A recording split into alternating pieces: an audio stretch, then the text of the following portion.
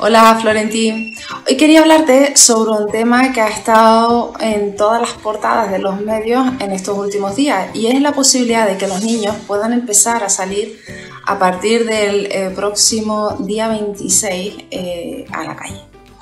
En compañía de un adulto, no van a poder jugar fuera, pero bueno, van a poder romper ese confinamiento que venían sufriendo las últimas semanas. ¿Es esto necesario? ¿Es esto una buena idea? Desde un punto de vista psicológico, sin duda sí. Estamos observando cómo eh, los niños están sufriendo estrés, insomnio, ansiedad, algo que no es habitual en niños de esa edad. Incluso algunos, en algunos se observa cómo están volviendo otra vez a etapas anteriores a su proceso evolutivo. Es decir, algunos se están volviendo otra vez a hacer pies en la cama cuando antes ya no se lo hacían.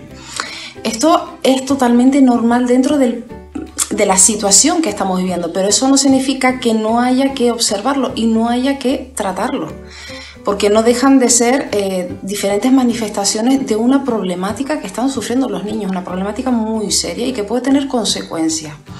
Por eso es importante el permitirles salir, romper un poco ese confinamiento, aunque sean un par de minutos al día, aunque no sea como siempre a jugar al parque con los amigos, pero por lo menos salir al aire, correr un poco, mm, romper un poco esa rutina al día a día. Desde luego eso ayudará muchísimo a que eh, padres e hijos se encuentren mucho mejor y lleven este confinamiento mucho mejor.